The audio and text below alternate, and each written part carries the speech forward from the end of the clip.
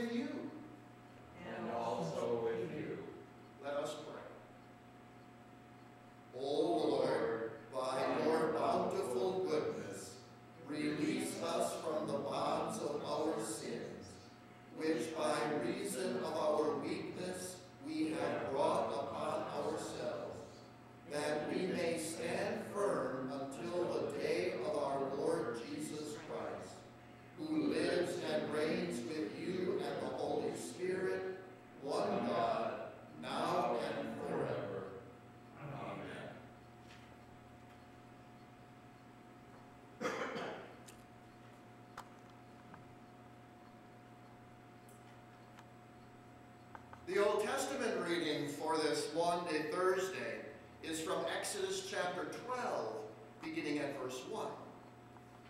The Lord said to Moses and Aaron in the land of Egypt, This month shall be for you the beginning of months. It shall be the first month of the year for you.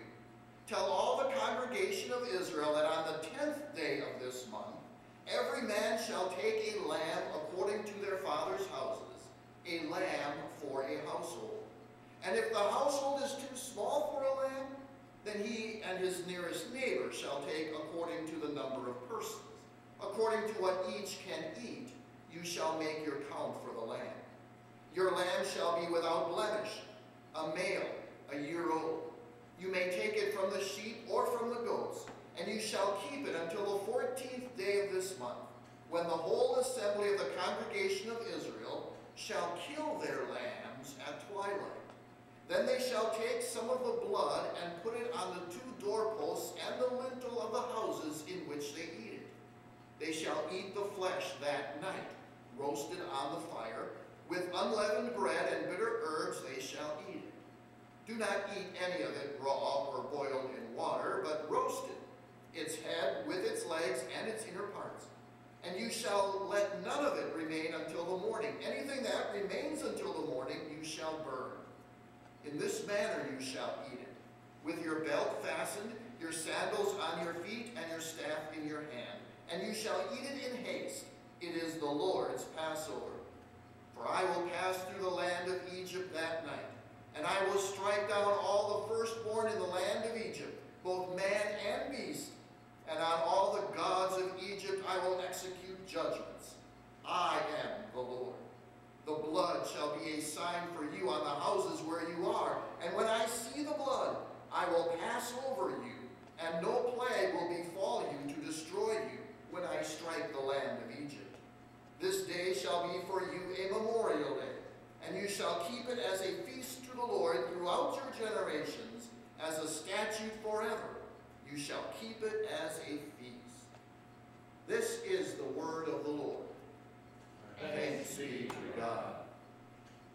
The epistle is from Hebrews chapter 9, beginning at verse 11. When Christ appeared as a high priest of the good things that have come, then through the greater and more, perfect tent, not made with hands, that is, not of this creation, he entered once for all into the holy places, not by means of the blood of goats and calves, but by means of his own blood, thus securing an eternal redemption. For if the sprinkling of defiled persons with the blood of goats and bulls, and with the ashes of a heifer, sanctifies for the purification of the flesh, how much more will the blood of Christ, who through the eternal Spirit offered himself without blemish to God, purify our conscience from the dead works to serve the living God? Therefore, he is the mediator of a new covenant, so that those who are called may receive the promised eternal inheritance, since a death has occurred that redeems them from the transgressions committed under the first covenant. For where a will is involved, the death of the one who made it must be established. For a will takes effect only at death, since it is not in force as long as the one who made it is alive. Therefore, not even the first covenant was inaugurated without blood. For when every commandment of the law had been declared by Moses to all the people, he took the blood of calves and goats with water and scarlet wool and hyssop, and sprinkled both the book itself and all the people saying, This is the blood of the covenant that God commanded for you. And in the same way, he sprinkled with the blood both the tent and all the vessels used in worship. Indeed, under the law, almost everything is purified with blood. And without the shedding of blood, there is no forgiveness of sins. This is the word of the Lord. Thanks be to God. And the Holy Gospel according to St. Matthew chapter 26, beginning at the, third, the 17th verse. Glory to you, O Lord. Now the first day of unleavened bread, the disciples came to Jesus saying, Where will you have us prepare for you to eat the Passover? Jesus said, Go into the city to a certain man and say to him, The teacher says, my time is at hand. I will keep the Passover at your house with my disciples. And the disciples did as Jesus had directed them, and they prepared the Passover. When it was evening, he reclined at table with the twelve. And as they were eating, he said, Truly I say to you, one of you will betray me. And they were very sorrowful and began to say to him one after another, Is it I, Lord? He answered, He who has dipped his hand in the dish with me will betray me. The Son of Man goes as it is written of him. But woe to that man by whom the Son of Man is betrayed. It would have been better for that man if he had not been born. Judas, who would betray him, answered, Is it I, Rabbi? He said to him, You have said so. Now as they were eating, Jesus took bread, and after blessing it, broke it and gave it to the disciples and said, Take, eat, this is my body. And he took a cup, and when he had given thanks, he gave it to them, saying, Drink of it, all of you, for this is my blood of the covenant, which is poured out for many for the forgiveness of sins. I tell you, I will not drink again of this fruit of the vine until that day, when I drink it new with you in my Father's kingdom. And when they had sung a hymn, they went out to the Mount of Olives. This is the gospel of the Lord. Praise to you, O Christ. We continue now by professing our Christian faith using the words of the Apostles'. I believe in God the Father Almighty, maker of heaven and earth, and in Jesus Christ, his only Son, our Lord, who was conceived by the Holy Spirit, born of the Virgin Mary, suffered under Pontius Pilate, was crucified, died, and was buried. He descended into hell. The third day he rose again from the dead. He ascended into heaven and sits at the right hand of God the Father Almighty. From thence he will come to judge the living and the dead. I believe in the Holy Spirit, the holy Christian church, the communion of saints, the forgiveness of sins, the resurrection of the body, and the life everlasting. Amen. We continue by singing together the hymn, Not All the Blood of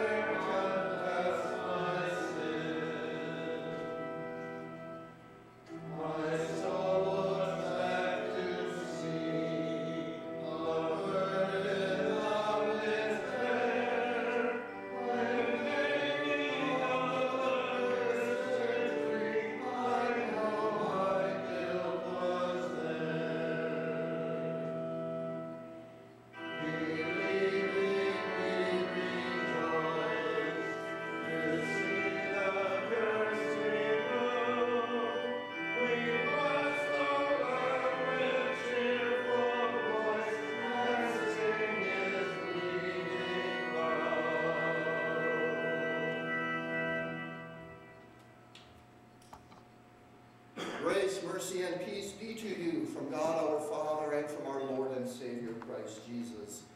Amen. The text of the sermon on this Maundy, Thursday, is from the epistle reading for today, from Hebrews chapter 9, reading verse 22. Indeed, under the law, almost everything is purified with blood, and without the shedding of blood, there is no forgiveness of sins. This is the text. Today there is blood all over the place. There are buckets and buckets of blood, as thousands upon thousands of lambs are sacrificed in the, Jew, in the Jerusalem temple for the Passover festival. Tradition says that the children of Jerusalem would scurry out of the city walls and rush to the Kidron River and wait to see the waters turn blood red as all the blood of those lambs sacrificed in the temple ran down the drain and out into the river. Yes, there was a lot of blood. And there's a lot of blood here today, too.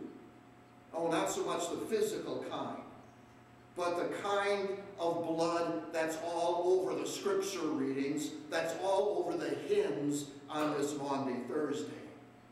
The sight of blood makes many of us squeamish, including me.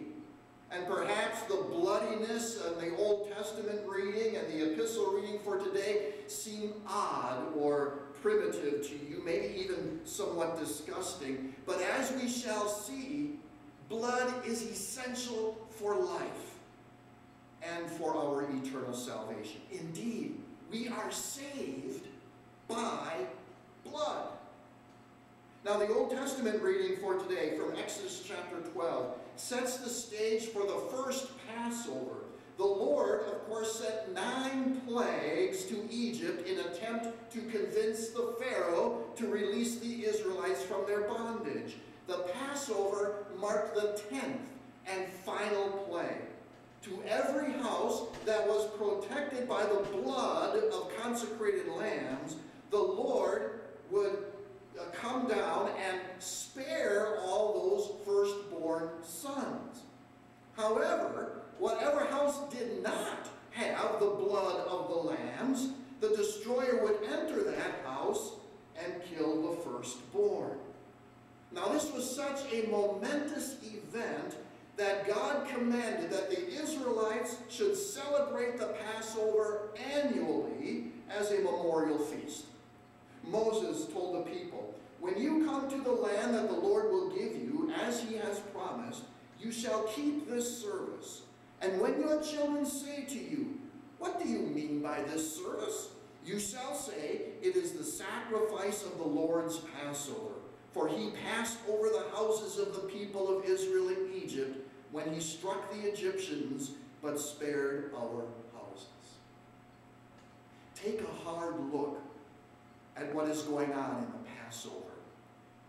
Dwelling only on the blood and the violence is, is too shallow a glance. It will cause us to stumble in the face of our pacifist sensibilities. After all, what kind of God would perpetrate such wrath against even innocent little children? Killing the firstborn sons for what? And then to top it all off, they were to commemorate this bloody and gory event every year? No, my friends. We have to look deeper than that. This is more than just about killing some firstborn sons and saving others.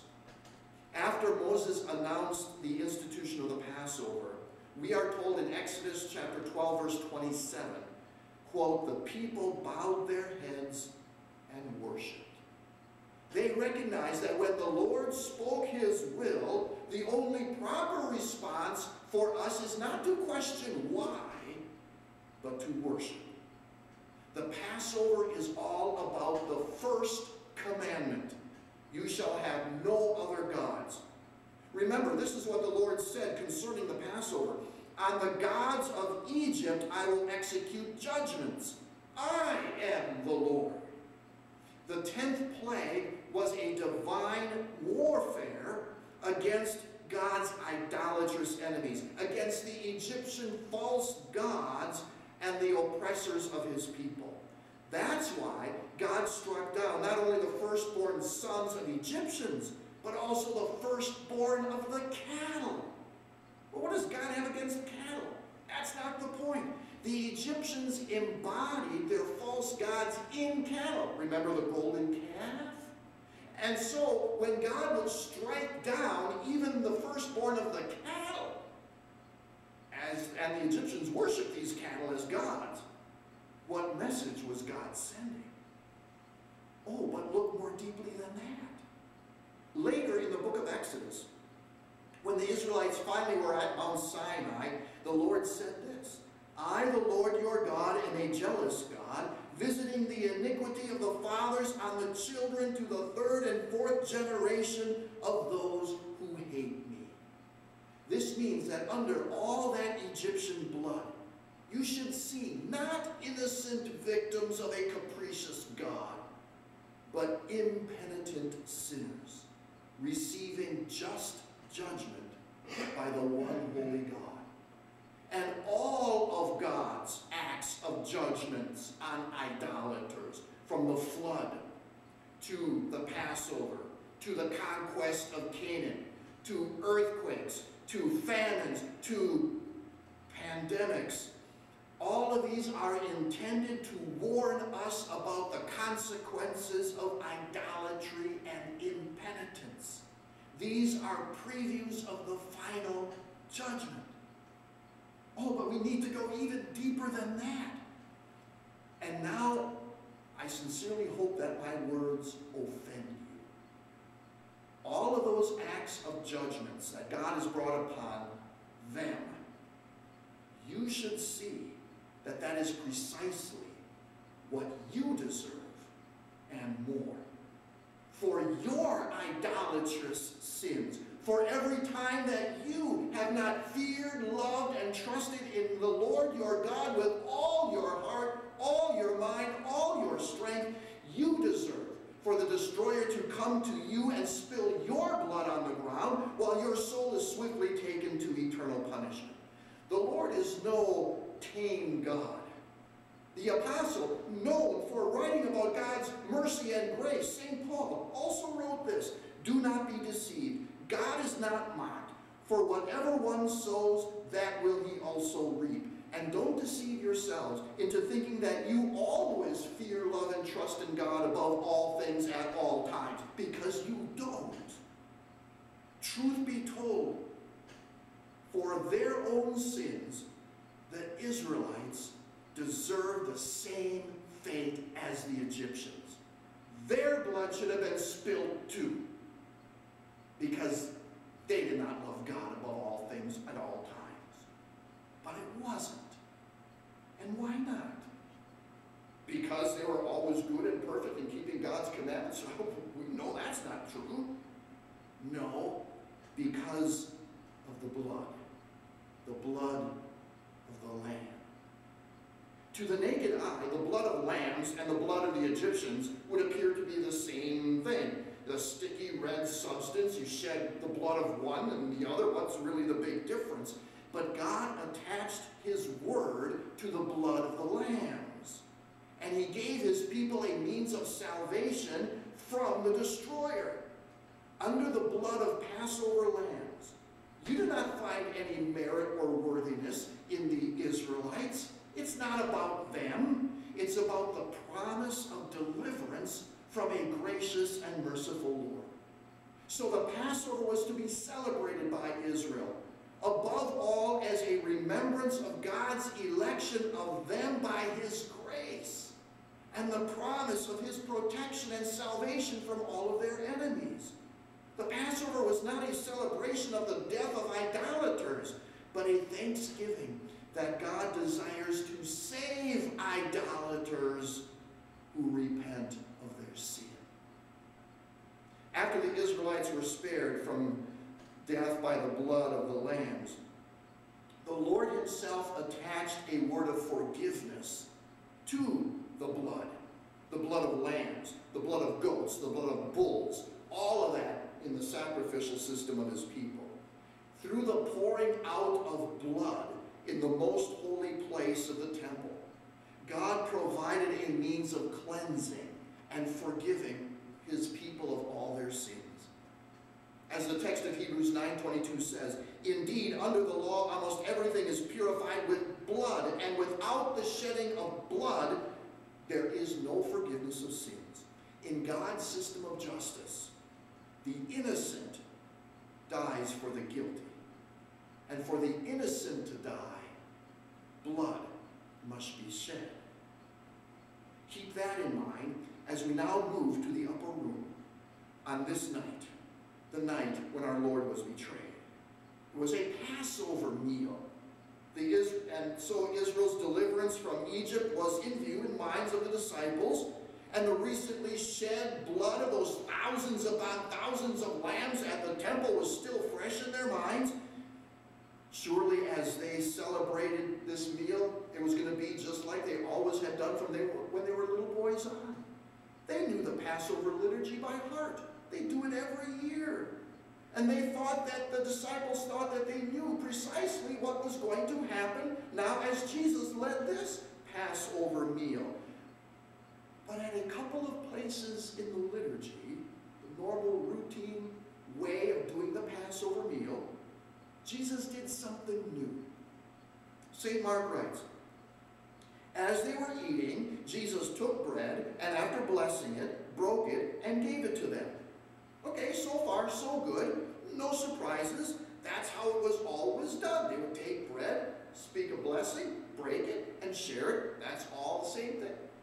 But now here comes the bombshell. Jesus said over that bread, Take, eat. This is my body. The disciples must have looked at each other in a bit of bewilderment. Jesus then seems to slip back into the normal liturgy again. He, he, he took a cup, and when he had given thanks, he gave it to them, and they all drank of it. Okay, back to normal again. That was how that all went in the, in the Passover meal. But then another bombshell. Jesus said to them, This is my blood of the covenant, which is poured out for many. Or as the Greek literally says, poured out on behalf of the masses. Once again, Jesus boggled their minds. At this unprecedented Passover meal, Jesus teaches three things to his disciples. First, that in a short while, his body would be given and his blood would be shed on the cross, and that under that apparently senseless slaughter of a righteous man, an innocent man, they should see that his death is a ransom for the masses of humanity, for the sins of the world. This is God's final judgment on sin.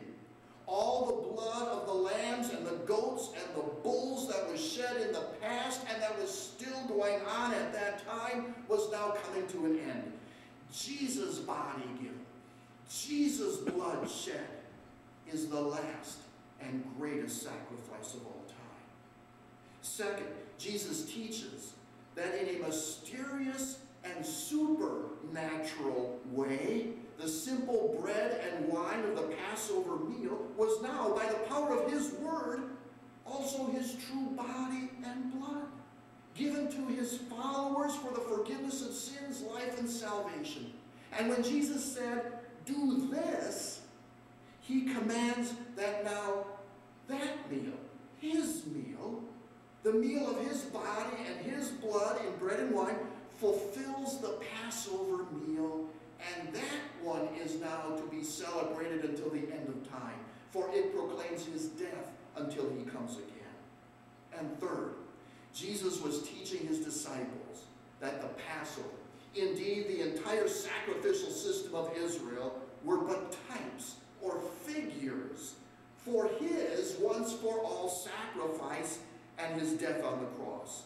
And now those Old Testament ceremonies must give way to the New Testament in his blood. Everything in the Old Testament was pointing forward to the coming of our Lord in the flesh as the Messiah, to redeem his people and to win their forgiveness, not only for the Israelites, though, but also for the Gentiles. Think about this. And now I hope my words bring you much comfort and hope. the blood of Jesus shed on the cross for the masses means that it was shed for you too. The blood of Jesus saves you from death even more than the blood of the Lamb saved the Israelites from death. The blood of the Passover was the blood of dead lambs that temporarily saved the Israelites from physical death. The blood of the covenant the new covenant in Jesus Christ is the living blood of the living Lamb of God who saves you from eternal death and judgment in hell and gives to you eternal life in spite of your idolatry. How can blood save? What does it have that it can do all of that? Life. God said in Leviticus chapter 17, For the life of the flesh is in the blood. And that is what the blood of Jesus gives to all who receive him by faith. Life. You are saved to eternal life. Not because you perfectly keep the first commandment, or any of them, but because the blood of Jesus shed on the cross covers over your heart and purifies you of all sin. Remember that the next time you do take Holy Communion. For you are saved by the blood of the Lamb of God, Jesus Christ. Amen. And the peace of God which passes all understanding, keep your hearts and minds in Christ Jesus. Amen. And we continue now with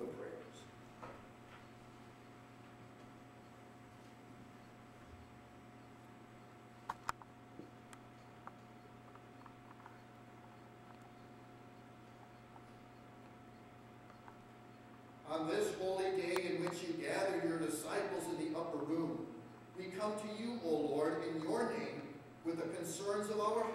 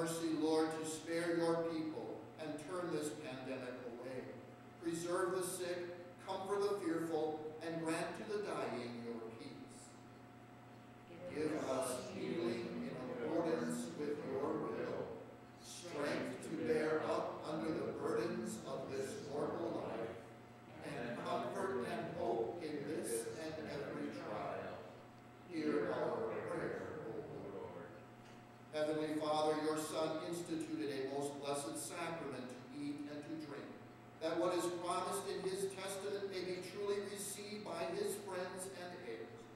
Have mercy on all who are kept from your table in these extraordinary circumstances, and do not shut them out of this supper forever. Let the words of this testament echo in their ears and hearts, and in true faith, let them believe these words, trusting that what they receive spiritually in faith, exactly what your Son has both won and declared, the forgiveness of sin